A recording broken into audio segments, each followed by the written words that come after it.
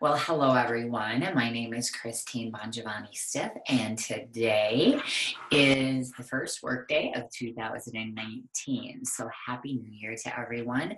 And I am talking about anxiety today because I just had, I believe, five days off of work, spent some time with my family, and committed to doing no work. Now, I did think about some things with work. I let my brain do some exploring, but I wasn't thinking about tasks and what needed to get done. And no social media, which was amazing. But this morning, before my alarm went off, my brain just decided decided to go a little crazy and it started thinking about all of the things i needed to do it was just like this the floodgates were closed and they were like burst open with all of these negative thoughts. And i started to feel it a little bit in my solar plexus and it just didn't feel good.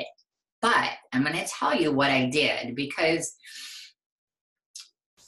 and then i'm going to explain what i want you to try to do. So what i did is I let it happen to me for a little bit before I really started to recognize it. And it's amazing how fast it ramps up. It is literally like the more you think about it, it's one of those indulgent emotions. So the more you let it happen, the worse it gets. And it just escalates into this big thing. But then I started to say, okay, this is going to be a little experiment. So I started to think about what was happening, like how I felt, how the emotion was feeling in my body. And I thought about some real stuff about how, you know, of course, the thoughts going in my mind is you haven't done anything for five days. Everything is catching up with you. Now you have a ton of stuff to do. You're never going to get it done. How is this? How can you ever be successful? And I just started to listen to it and let my brain do its thing. And then I started to just come up with replies to what it was saying that yes, I took time off and I deserve it. And now is a day, today is a day I'm going to work and I will logically sit down and look at my calendar, think about what needs to get done, review it, and just get to work. And what happens is it just goes away. You don't entertain it and that's what happens is it goes away. Now it's not that it doesn't come back again because it's kind of tried to budge in today. But so what I want to say to you is to to know first of all that it's just an emotion. It's something going on in your brain, right? And what is happening is your brain is starting to create a vibration in your body.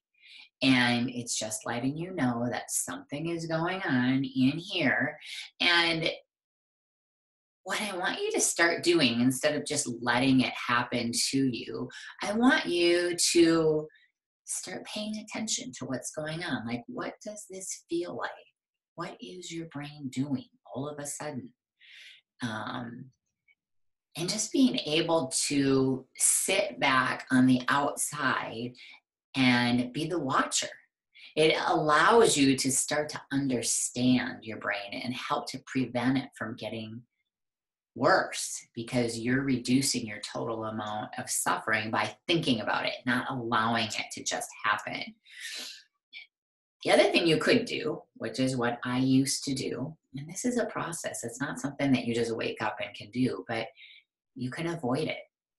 And that's what I used to do. I used to just like force it down, like make myself get up, make myself get going, and just be a crazy hot mess. And what that does is it just compounds the pain. You know, there are so many things that you um, can do when we're afraid of that sensation when we feel it. We when and we want to avoid. We might eat, we might drink, we might well, hopefully we won't start drinking right when you wake up, but can happen, right? Um, you give up. like I could totally have just let this control my day and not gotten anything done. And um, so that's what I want you to think about is this is just an emotion. The best thing, the next thing I did after I went and worked out and um, came back and had my quiet time with God. And then I just did a thought download. I, for 10 minutes, just wrote everything my brain was telling me, how I was a loser. And then I looked at it, it did a thought model on it and unintentional what my brain was doing. My brain was just doing what it's wired to do. I just took five days off. Oh my gosh, the world is going to come to an end. I'm never going to succeed. It's what our brain does. But what we have to do is just re-teach our brain it's okay i'm going to work today i'm going to get my stuff done. And so i did an unintentional model on one of those crazy thoughts i was thinking and then i did an intentional model which helped me to just really think about how i wanted this day to go and how i'm going to need to feel to be able to think like that and the actions I'll take and then the result I will get.